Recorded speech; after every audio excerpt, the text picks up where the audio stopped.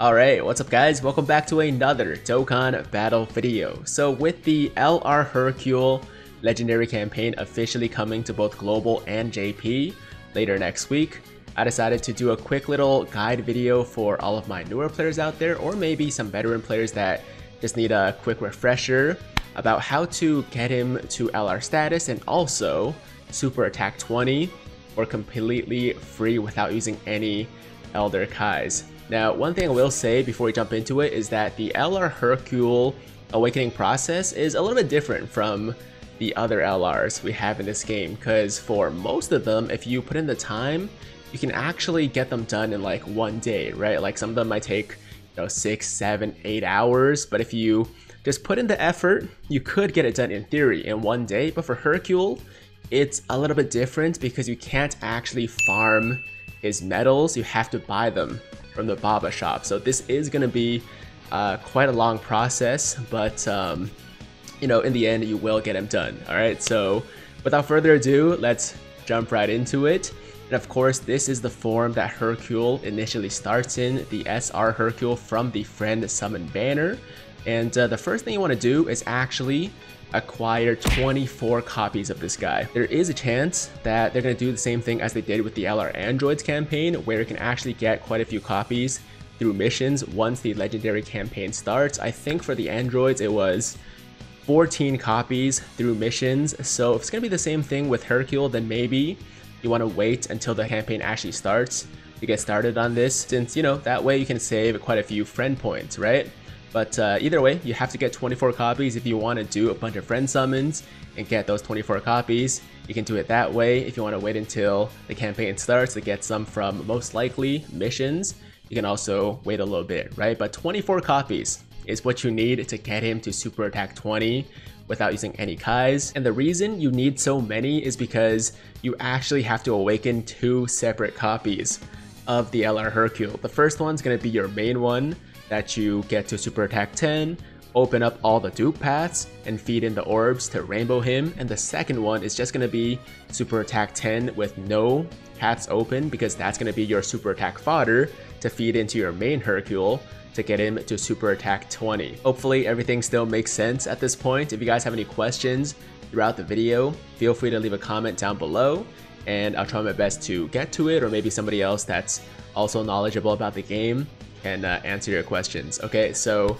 anyways, once you have your 24 copies of the SR Hercule, you want to start by getting two of them to Super Attack 10. Of course, to do that, you just got to directly feed in the other copies of the SR Herc Hercules into the ones that you choose as your main one and the side Super Attack Fodder one. So you have two Hercules now at Super Attack 10, but at this point in time, you can't actually feed in any dupes into the hidden potential system because only UR status or higher units have hidden potential systems, right? So right now you should have two SR Hercules at super attack 10 each.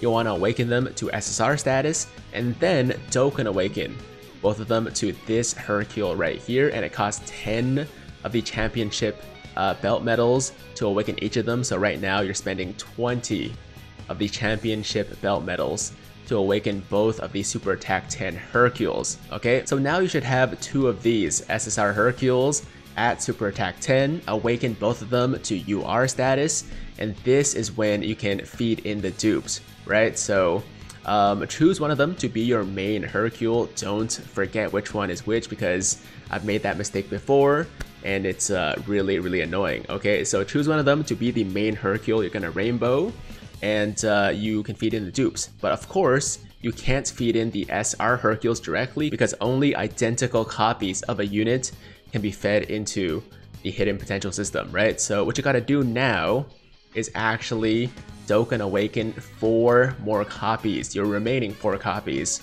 of the SR Hercules into this SSR Hercule to be fed into the hidden potential system. So that's going to cost 40 more of the championship belt medals.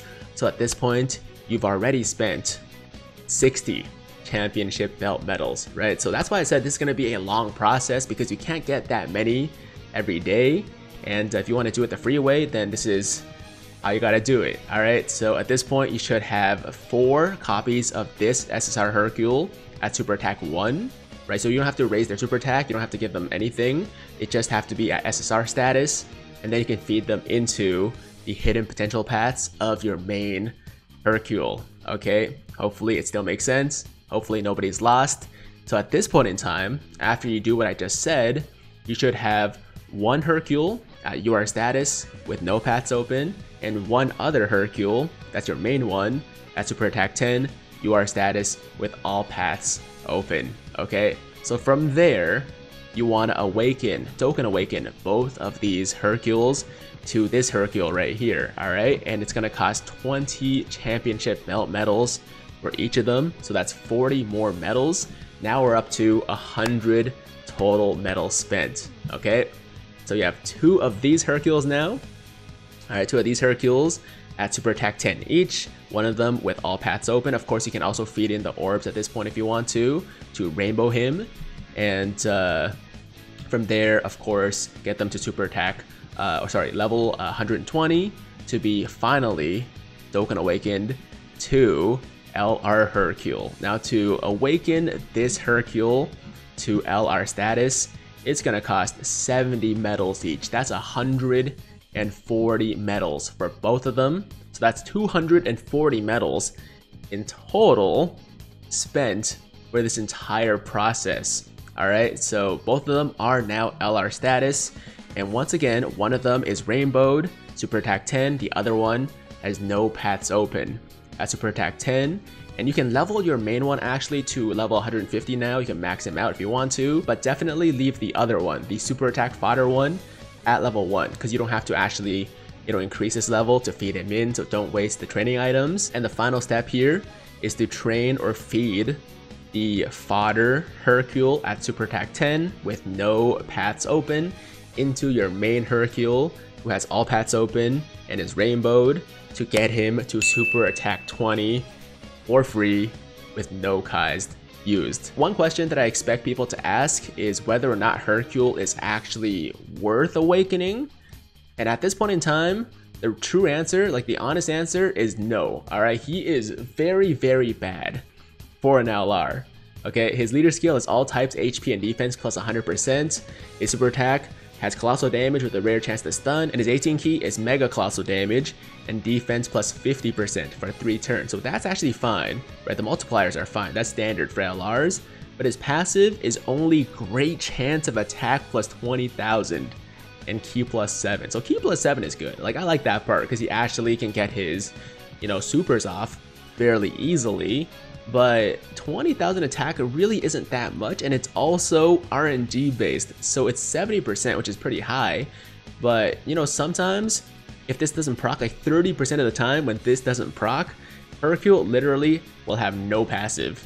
Okay, so as he is right now in his current form, he's not worth awakening, that's for sure. But of course, if you want the, you know, stones and the Kais and the orbs from the legendary campaign, then I would say it's worth it for that, right? For the 20 stones, it's definitely worth it. But as far as if he is worth it as a unit, um, definitely not. Definitely not. Now, there is a chance, there is a chance that they give him an Extreme Z Awakening when the campaign drops or soon after the legendary campaign drops. In that case, he could become quite good, right? Because they can make him a lot better than he currently is, but without the Extreme Z Awakening, in his current form, he's just a bad unit. There's no way around that. All right, so hopefully that answers that question as well.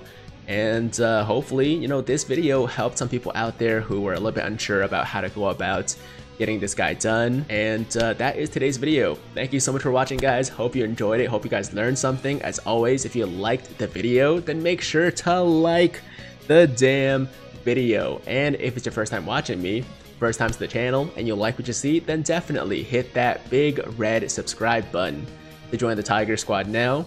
And while you're at it, hit that notification bell too, so that YouTube knows you want to stay up to date with all my latest content. And that's it. I'm out of here. Until next time, hope you guys have a fantastic, fantastic day. I'm Tiger with Tiger Uppercut Media, signing out.